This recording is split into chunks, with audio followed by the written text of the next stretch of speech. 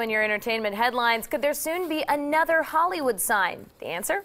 Possibly. It's one of the top attractions for hikers, and that is the iconic Hollywood sign. And it's become so popular that people who live nearby say they're just pretty much fed up with visitors and their cars clogging residential streets.